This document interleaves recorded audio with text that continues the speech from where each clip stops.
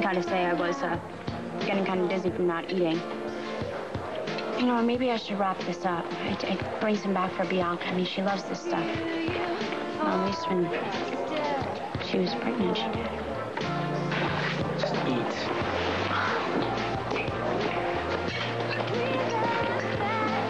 You sure you don't want to bite?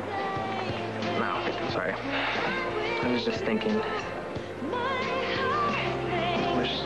Somebody loved me as much as you love your old roomie. You okay? Mm-hmm. Too much hot sauce. Wrong way. Come on, Jimmy, don't talk like that. A lot of people love you. I mean, the whole Martin clan. And you have the whole, you know, buddies thing going on with your brother. At least you did, right? Yeah, we used to have each other's backs. And we're gonna get there again, though. You see, and it's like Bianca and me. I mean, we will be pals for life, no matter what. Come on, Maggie. You guys are way more than pals. Anybody can see that.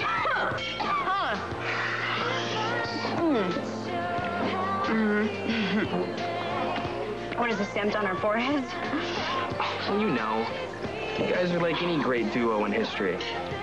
Those guys that are willing to die for each other. That's you and Bianca. No, no, no. I say we're more like Turner and Hooch. Go ahead and make fun. But between you, me, and the eggs, people that know real love,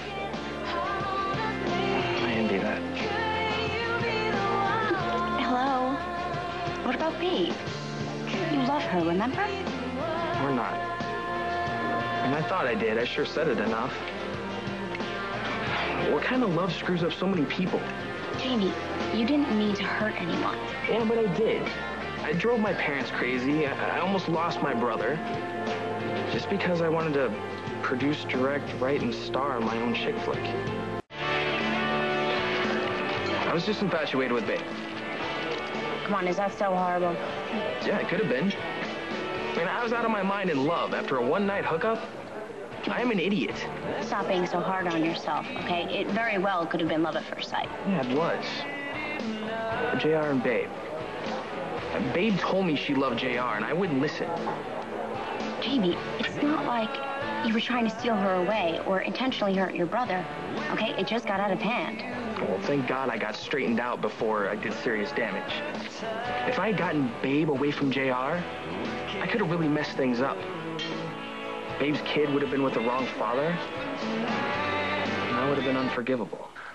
I'll always care about Babe. I'm totally into being Uncle Jamie. Oh, and that's great, because, you know, adorable babies are major chick magnets. I need accessories? Look, now that you're over Babe, you can really take advantage of little Bess. Come on, think of it. I mean, you're on the loose again, right? You're like the most eligible guy in Pine Valley. Is that cool with you? I mean, we're kind of involved. Jamie, we're involved, but we're not involved. We're friends who hook up. And we're gonna live together. Are you sure this isn't gonna get weird? Hey, only if I find you my underwear. Look, there are no expectations, there are no demands, no hang-ups, okay? I'm cool with that. You are the coolest woman I've ever known. I figured you totally have a problem with it. No, I mean, I am a 21st century kind of gal, you know? Deal with it.